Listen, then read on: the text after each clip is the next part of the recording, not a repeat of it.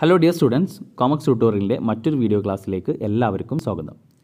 Income tax authorities എന്ന ചാപ്റ്ററിന്റെ രണ്ടാമത്തെ part video ആണ് നമ്മൾ ഡിസ്കസ് ചെയ്യാൻ പോകുന്നത്. കഴിഞ്ഞ പാർട്ടിന്റെ വീഡിയോന്റെ ലിങ്ക് താഴെ ഡിസ്ക്രിപ്ഷൻ ഉണ്ടാകും. അപ്പോൾ കഴിഞ്ഞ ക്ലാസ്സിൽ നമ്മൾ ഇൻകം ടാക്സ് അതോറിറ്റീസ് ഏതൊക്കെയാണ്? ആ ഇൻകം ടാക്സ് അതോറിറ്റീസിന്റെ പവേഴ്സ് ഫങ്ഷൻസ് അതേപോലെ central board of direct tax central board of direct പവറും ഫങ്ഷൻസും ഒക്കെ നമ്മൾ പഠിച്ചു കഴിഞ്ഞു. ഇനി ഈ വീഡിയോയിൽ നമ്മൾ ഡിസ്കസ് ചെയ്യാൻ പോകുന്നത് അഡ്വാൻസ് പേയ്മെന്റ് ഓഫ് ടാക്സ് എന്നൊരു ടോപ്പിക്കാണ്. ചെറിയൊരു ടോപ്പിക്കാണ്. അപ്പോൾ നമുക്ക് നേരെ ടോപ്പിക്കിലേക്ക് അടക്കാം ഇൻകം ടാക്സ് കൊടുക്കുന്നത് ഒരു അസസിയുടെ ടോട്ടൽ ഇൻകത്തിന്മേലാണ് അപ്പോൾ സാധാരണ പ്രീവിയസ് ഇയറിലെ ഇൻകത്തിന് അസസ്മെന്റ് ഇയറിലാണ് നമ്മൾ ടാക്സ് കൊടുക്കുക. The total income of the assessee for the previous year is taxable in the relevant assessment year. എന്ന് വെച്ച് കഴിഞ്ഞാൽ പ്രീവിയസ് ഇയറിലെ ഇൻകത്തിന് അതിന് ആ ഇൻകം ടാക്സബിൾ ആകുന്നത് assessment ഇയറിലാണ്. For example total income of the previous year two thousand twenty twenty one is taxable in the assessment year twenty one twenty two അപ്പോൾ രണ്ടായിരത്തി ഇരുപത് ഇരുപത്തൊന്നിൽ ഇൻകം ഉണ്ട് എങ്കിൽ അതിന് ടാക്സ് കൊടുക്കേണ്ടത് അസസ്മെന്റ് ഇയറായ ഇരുപത്തൊന്ന് ഇരുപത്തിരണ്ടിലാണ്. അപ്പോൾ നമ്മൾ എത്രയാണോ പ്രീവിയസ് ഇയറിൽ ഇൻകം ഏൺ ചെയ്തത് ആ പ്രീവിയസ് ഇയറിലെ ഇൻകത്തിന് ടാക്സ് കാൽക്കുലേറ്റ് ചെയ്യുന്നത് അടുത്ത വർഷം. എന്ന് വെച്ച് കഴിഞ്ഞാൽ അസസ്മെന്റ് ഇയറിലാണ് അപ്പോൾ നമ്മുടെ പ്രീവിയസ് ഇയർ എന്ന് പറഞ്ഞു കഴിഞ്ഞാൽ ട്വന്റി ട്വന്റി വൺ ആണ്. അപ്പോൾ ട്വന്റി ട്വന്റി വണ്ണിൽ ഇൻകം ഏൺ ചെയ്തതിനൊക്കെ കൂടിയിട്ട് നമ്മൾ എന്ത് ചെയ്യും? ട്വന്റി വൺ ട്വന്റി ടുവിൽ ഇരുപത്തൊന്ന് ഇരുപത്തിരണ്ടിൽ എന്ത് ചെയ്യും? ടാക്സ് കാൽക്കുലേറ്റ് ചെയ്യും. എന്നിട്ടാണ് നമ്മൾ കൊടുക്കുക. എന്നാൽ ചില കേസിൽ the tax is recovered from the assessee in the previous year itself through previous ഇയറിലെ ഇൻകത്തിന് പ്രീവിയസ് ഇയറിൽ തന്നെ ടാക്സ് ചാർജ് ചെയ്യുന്നു. പ്രധാനമായും രണ്ട് രീതിയിലാണ് ടാക്സ് കളക്ട് ചെയ്യുന്നത്. എന്ന് വെച്ച് കഴിഞ്ഞാൽ പ്രീവിയസ് ഇയറിലെ ഇൻകത്തിന് പ്രീവിയസ് ഇയറിൽ തന്നെ എന്ത് ചെയ്യുന്നു? അല്ലെങ്കിൽ ആ ഫിനാൻഷ്യൽ ഇയറിൽ തന്നെ എന്ത് ചെയ്യുന്നു? ഇൻകം ടാക്സ് കളക്ട് ചെയ്യുന്നു. അപ്പോൾ രണ്ട് മെത്തേഡിലൂടെയാണ് ഇങ്ങനെ ടാക്സ് കളക്ട് ചെയ്യുന്നത്. ഒന്നാമത്തത് പേയ്മെന്റ് ഓഫ് അഡ്വാൻസ് ടാക്സ് രണ്ടാമത്തത് ടി ഡി എസ് പിന്നെ ടി സി എസും പറയുന്നുണ്ട്. ഓക്കെ അപ്പോൾ നമുക്ക് ഇവിടെ പഠിക്കാനുള്ളത് ഈ രണ്ട് പോയിന്റ് രണ്ട് മെത്തേഡാണ് പേയ്മെന്റ് ഓഫ് അഡ്വാൻസ് ടാക്സും ടി ഡി എസും അപ്പോൾ ഈ ഈ വീഡിയോയിൽ നമ്മൾ ഡിസ്കസ് ചെയ്യാൻ പോകുന്നത് അഡ്വാൻസ് പേയ്മെന്റ് ഓഫ് ടാക്സ് എന്ന ടോപ്പിക്കാണ് അപ്പോൾ എന്താണ് അഡ്വാൻസ് പേയ്മെന്റ് ഓഫ് ടാക്സ് ആ വേർഡിൽ ഉണ്ട് അല്ലേ? ടാക്സ് അഡ്വാൻസ് ആയിട്ട് പേയ്മെന്റ് ചെയ്യുക.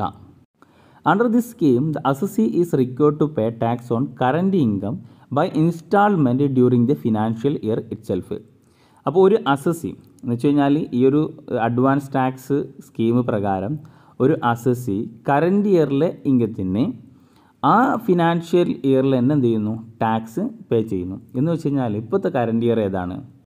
ഇപ്പോൾ കറന്റ് ഇയർ നോക്കുകയാണെങ്കിൽ ട്വന്റി വൺ ട്വന്റി ടു അല്ലേ? ഇതാണ് നമ്മളുടെ പ്രീവിയസ് ഇയർ എന്ന് വിചാരിക്കുക ഈ പ്രീവിയസ് ഇയറിലെ ഇൻകത്തിന് നോർമലി നമ്മൾ ടാക്സ് കൊടുക്കേണ്ടത് ഇരുപത്തി രണ്ട് ഇരുപത്തി മൂന്ന് അല്ലേ? അസസ്മെന്റ് ഇയർ ഇരുപത്തിരണ്ട് ഇരുപത്തി മൂന്നിലാണ് പക്ഷേ അഡ്വാൻസ് ടാക്സ് പ്രകാരം ഇരുപത്തൊന്ന് ഇരുപത്തിരണ്ടിലെ ഇൻകത്തിന് ആ ഫിനാൻഷ്യൽ ഇയറിൽ തന്നെ എന്ന് വെച്ച് കഴിഞ്ഞാൽ ട്വന്റി വൺ ട്വന്റി ടുവിൽ തന്നെ എന്ത് ചെയ്യണം? ടാക്സ് പേ ചെയ്യണം. Okay thus the scheme pays as he earn എത്രയാണോ അദ്ദേഹം ഏൺ ചെയ്തത് അല്ലെങ്കിൽ എത്രയാണോ അസസി ഏൺ ചെയ്തത് ആ ഏൺ ചെയ്തതിന് എന്ത് ചെയ്യണം? ഇൻസ്റ്റാൾമെന്റ് ആയിട്ട് ആ ഫിനാൻഷ്യൽ ഇയറിൽ തന്നെ ടാക്സ് പേ ചെയ്യണം. Therefore, the such scheme of advance payment of tax is also known as pay as you earn scheme. Okay അപ്പോൾ ഈ അഡ്വാൻസ് ടാക്സ് അല്ലെങ്കിൽ അഡ്വാൻസ് പേയ്മെന്റ് ഓഫ് ടാക്സിന് വിളിക്കുന്ന മറ്റൊരു പേരാണ് pay as you earn scheme അല്ലെങ്കിൽ ചുരുക്കിയിട്ട് ഇങ്ങനെയും വിളിക്കും പേ ഇ സ്കീം അപ്പോൾ എക്സാമിന് നിങ്ങൾ എന്ത് ചെയ്യുക ഈ മൂന്ന് മെത്തേഡ് ചോദിച്ചു കഴിഞ്ഞാൽ അല്ലെങ്കിൽ മൂന്ന് രീതിയിൽ ചോദിച്ചു കഴിഞ്ഞാൽ ഒന്ന് തന്നെയാണ്. അഡ്വാൻസ് പേയ്മെന്റ് ഓഫ് ടാക്സ് അല്ലെങ്കിൽ what you mean by pay as you earn അല്ലെങ്കിൽ വാട്ട് ഈസ് പേ ഈ സ്കീം ഇതൊക്കെ ചോദിച്ചു കഴിഞ്ഞാലും ഇത് എഴുതിയാൽ മതി. ഓക്കെ അപ്പോൾ അഡ്വാൻസ് ടാക്സ് അല്ലെങ്കിൽ അഡ്വാൻസ് പേയ്മെന്റ് ഓഫ് ടാക്സ് എന്താണെന്ന് മനസ്സിലായിട്ടുണ്ടാകും. ഇനി ആരൊക്കെയാണ് അഡ്വാൻസ് ടാക്സ് പേ ചെയ്യേണ്ടത്? എല്ലാവരും പേ ചെയ്യേണ്ട ആവശ്യമില്ല. Advance tax shall be payable where the amount of tax payable by the assessee during the year rupees ten thousand or more അപ്പോൾ ടാക്സബിൾ എമൗണ്ട് എന്ന് വെച്ചാൽ ടാക്സ് പേ ചെയ്യേണ്ടത് ടെൻ തൗസൻഡോ അല്ലെങ്കിൽ അതിനേക്കാൾ മുകളിലോ ഒരു വർഷം ടാക്സ് പേ ചെയ്യേണ്ടതുണ്ട് എങ്കിൽ ആ അസസി അഡ്വാൻസ് ടാക്സ് പേ ചെയ്യണം. അപ്പോൾ നമുക്കറിയാം ഓരോ ഇപ്പോൾ സാലറീഡ് പേഴ്സൺ ആണെന്നുണ്ടെങ്കിൽ ആ വ്യക്തിക്ക് അറിയാം എത്രയാണ് ആ വ്യക്തിയുടെ സാലറി കിട്ടുന്നത്. അപ്പോൾ എത്ര ടാക്സ് പേ ചെയ്യേണ്ടത് എന്നുള്ളത് ഒരു എസ്റ്റിമേറ്റ് ചെയ്യാൻ പറ്റും. അപ്പോൾ ആ എസ്റ്റിമേറ്റഡ് എമൗണ്ട് എന്ന് വെച്ചാൽ ടാക്സ് പേ ചെയ്യേണ്ടത് ടെൻ തൗസൻഡിന്റെ മുകളിൽ പേ ചെയ്യേണ്ടത് വരും എന്നുണ്ട് എങ്കിൽ ആ വ്യക്തി എന്ത് ചെയ്യണം? ആ അസസി എന്ത് ചെയ്യണം? അഡ്വാൻസ് ടാക്സ് പേ ചെയ്യണം. അഡ്വാൻസ് ടാക്സ് പേ ചെയ്യേണ്ടത് എങ്ങനെയാണ്? ഇൻസ്റ്റാൾമെന്റ് ബേസിലാണ്. ഓക്കെ ക്ലിയർ അല്ലേ? ഇനി ഇൻസ്റ്റാൾമെന്റ് ഓഫ് അഡ്വാൻസ് ടാക്സ്. എങ്ങനെയാണ് ഈ advance ടാക്സിന്റെ instalment the advance tax shall be paid in instalment during the financial year as given below.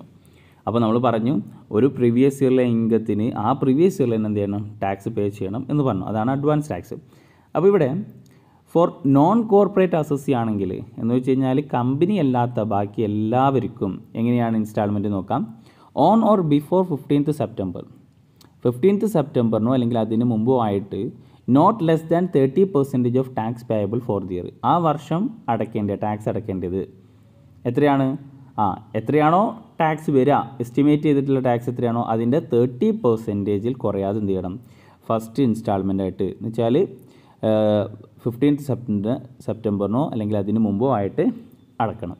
Okay then on or before fifteenth December fifteenth ഡിസംബറിനോ അല്ലെങ്കിൽ അതിന് മുമ്പോ ആയിട്ട് not less than sixty percentage of tax payable for the year അറുപത് ശതമാനത്തിൽ കുറയാത്ത amount tax pay ചെയ്യണം.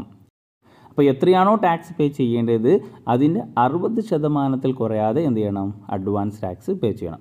അപ്പോൾ fifteenth സെപ്റ്റംബറിന് തേർട്ടി പെർസെന്റേജ് ഓൾറെഡി പേ ചെയ്തിട്ടുണ്ടെങ്കിൽ ദെൻ ഫിഫ്റ്റീൻത്ത് ഡിസംബർ മൂന്ന് മാസം കഴിഞ്ഞിട്ട് അല്ലേ? പിന്നെ തേർട്ടി പെർസെന്റേജ് പേ ചെയ്താൽ മതി. കാരണം ഓൾറെഡി തേർട്ടി പെർസെന്റേജ് ഫിഫ്റ്റീൻത്ത് സെപ്റ്റംബറിന് പേ ചെയ്തിട്ടുണ്ട്. പിന്നെ ഫിഫ്റ്റീൻത്ത് ഡിസംബർ ആകുമ്പോഴത്തേനും ബാക്കി തേർട്ടി പെർസെന്റേജ് പേ ചെയ്യാം. അപ്പോൾ ടോട്ടൽ എത്രയായി? അറുപത് ശതമാനം പേ ചെയ്ത് കഴിഞ്ഞു.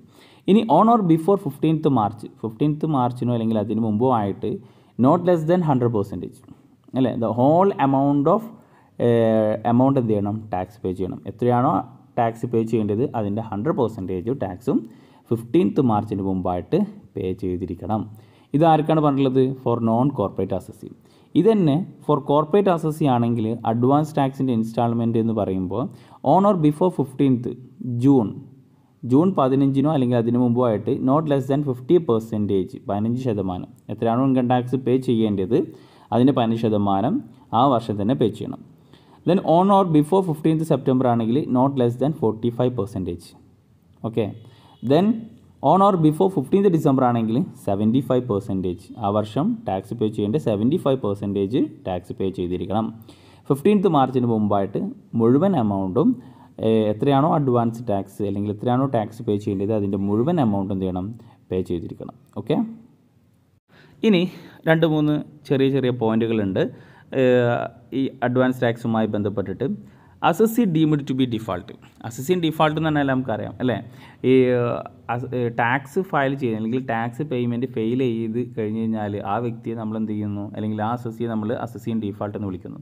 അതേപോലെ തന്നെ assessee deemed to be in default എന്തൊക്കെ സിറ്റുവേഷനിലാണ് അപ്പോൾ നമ്മൾ അസസി ഡീമഡ് ടു ബി ഡിസ ഡിഫാൾട്ട് എന്ന് വിളിക്കണമെന്നുണ്ടെങ്കിൽ ആ വ്യക്തി എന്ത് ചെയ്യണം? ടാക്സ് പേ ചെയ്യുന്നതിൽ ഫെയിൽ ആയിരിക്കണം അല്ലേ? അപ്പോൾ when the assessee fail to pay advance tax in instalment on the due date അപ്പോൾ അഡ്വാൻസ് ടാക്സ് ഡ്യൂ ഡേറ്റിൽ ഇൻസ്റ്റാൾമെന്റ് ആയിട്ട് പേ ചെയ്തിട്ടില്ല എങ്കിൽ പോലും ആ വ്യക്തി എന്ത് ചെയ്യും? അസസി എന്ത് ചെയ്യും? ഡീംഡ് ടു ബി ഡിഫാൾട്ടായിട്ട് പരിഗണിക്കും. ഓക്കെ അപ്പോൾ അദ്ദേഹം എന്ത് ചെയ്തിട്ടുണ്ട്? ആ അഡ്വാൻസ് ടാക്സ് പേ ചെയ്യുന്നതിൽ പിഴവ് വരുത്തിയിട്ടുണ്ട്. അപ്പോൾ എന്ത് ചെയ്തു ഡിഫാൾട്ട് വരുത്തിയിട്ടുണ്ട്. അതുകൊണ്ട് തന്നെ ആ assessee assessee deemed to be ഡിഫാൾട്ടാണ് then when the assessee does not send the estimate of his current income current income അതിന്റെ ഒരു എസ്റ്റിമേറ്റ് സെൻഡ് ചെയ്തിട്ടില്ല എങ്കിൽ നമ്മൾ അഡ്വാൻസ് ടാക്സ് പേ ചെയ്യുന്നത് എപ്പോഴും ഒരു എസ്റ്റിമേറ്റഡ് ഇൻകത്തിന്റെ ബേസിലാണ് കാരണം നമ്മളിപ്പോൾ ഇപ്പോഴത്തെ പ്രീവിയസ് ഇയർ എന്ന് പറഞ്ഞു കഴിഞ്ഞാൽ first April two thousand twenty one okay അത് മുതൽ thirty first March two thousand twenty two ആണെന്ന് വിചാരിക്കാം. അപ്പോൾ ഈ thirty first March two thousand twenty two കഴിഞ്ഞാൽ മാത്രമേ നമുക്ക് ഈ വർഷം ഇങ്ങ് ഏൺ ചെയ്തത് എത്രയാണെന്ന് കറക്റ്റായിട്ട് പറയാൻ പറ്റുള്ളൂ. അല്ലേ? Thirty first March two thousand twenty two ഇപ്പോൾ കഴിഞ്ഞിട്ടില്ല. അപ്പോൾ കഴിഞ്ഞ് അത് ആ ഒരു പീരീഡ് കഴിഞ്ഞ് കഴിഞ്ഞാലാണ് നമുക്ക് എന്ത് ചെയ്യാൻ പറയാൻ പറ്റുള്ളൂ? എത്ര ഇൻകം ഏൺ ചെയ്തു എന്ന് പറയാൻ പറ്റുള്ളൂ കറക്റ്റായിട്ട് അപ്പോൾ അതുകൊണ്ട് തന്നെ നമ്മളിവിടെ ഇൻകം എസ്റ്റിമേറ്റ് ആണ് ചെയ്യാറ്. ഈ വർഷം ഇത്ര ഇൻകം കിട്ടും എന്നുള്ളത് എസ്റ്റിമേറ്റ് ചെയ്യും. അതിന്റെ അടിസ്ഥാനത്തിൽ എത്ര ടാക്സ് കൊടുക്കേണ്ടി വരുന്ന എസ്റ്റിമേറ്റ് ചെയ്യും. അത് പതിനായിരം രൂപയുടെ മുകളിലാണെന്നുണ്ടെങ്കിൽ അഡ്വാൻസ് ടാക്സ് പേ ചെയ്യണം. അപ്പോൾ when the assessee does not send the estimate of his current income current ഇൻകത്തിന്റെ ഒരു എസ്റ്റിമേറ്റ് അസസി സെൻഡ് ചെയ്തിട്ടില്ല എങ്കിൽ അയച്ചു കൊടുത്തിട്ടില്ല എങ്കിൽ അപ്പോഴും അവിടെ എന്ത് വരും? ആ അസസി എന്താണ്? അസസി ഡീംഡ് ടു ബി ഡിഫാൾട്ടായിട്ട് കരുതും. Next credit for advance tax credit for advance tax എന്ന് പറഞ്ഞു കഴിഞ്ഞാൽ ചിലപ്പോൾ നമ്മൾ അഡ്വാൻസ് ടാക്സ് പേ ചെയ്തത് കൂടി പോയേക്കാം any sum paid and advance tax shall be treated as a payment of tax നമ്മൾ അഡ്വാൻസ് ടാക്സ് പേ ചെയ്യുന്നത് എന്തായിട്ടാണ്? ആ പേയ്മെന്റ് ഓഫ് ടാക്സുമായിട്ടാണ് അത് കൺസിഡർ ചെയ്യുക. And the credit shall be given to the assessee in the regular assessment assessee എന്ത് ചെയ്യും? ഇനി റെഗുലർ അസസ്മെന്റ് പ്രകാരം ഏത്? നെക്സ്റ്റ് ഇയറിൽ അസസ്മെന്റ് ഇയറിൽ എന്ത് ചെയ്യും? റെഗുലർ അസസ്മെന്റ് പ്രകാരം ടാക്സ് കാൽക്കുലേറ്റ് ചെയ്യും. അങ്ങനെ നമുക്ക് എന്ത് ചെയ്യും? ക്രെഡിറ്റ് ഉണ്ടെങ്കിൽ അത് ക്രെഡിറ്റ് കിട്ടും. ഇനി ഈ അഡ്വാൻസ് ടാക്സ് പേയ്മെന്റ് ഡിഫാൾട്ട് ആയി കഴിഞ്ഞു കഴിഞ്ഞാൽ അതിലെന്തെങ്കിലും പിഴവ് വരുത്തി കഴിഞ്ഞാൽ അതിനെന്തുണ്ട്? ഇൻട്രസ്റ്റ് ഉണ്ട്. ഇൻട്രസ്റ്റ് എന്നുള്ളത് എത്രയാണ്? One percentage for every month if an assessee has fail to pay in advance tax advance tax pay ചെയ്യാൻ ഫെയിൽ ആയി കഴിഞ്ഞാൽ he shall be liable to pay simple interest at one percentage for every month ഓരോ മാസവും ഒരു ശതമാനം advance ടാക്സിന്റെ ഒരു ശതമാനം interest എന്ത് ചെയ്യണം? പേ ചെയ്യണം. ഓക്കെ അപ്പോൾ ഇതാണ് അഡ്വാൻസ് ടാക്സുമായി ബന്ധപ്പെട്ടിട്ട് പറയാനുള്ളത്. സിമ്പിളായിട്ടുള്ളൊരു ടോപ്പിക്കാണ് നിങ്ങൾക്ക് എല്ലാവർക്കും മനസ്സിലായിട്ടുണ്ടാകും എന്ന് വിചാരിക്കുന്നു. നിങ്ങൾക്ക് മനസ്സിലായിട്ടുണ്ട് എങ്കിൽ നിങ്ങളുടെ കൂട്ടുകാരിലേക്കും എത്തിക്കുക. Thank for watching will see next class with another topic that is T D S okay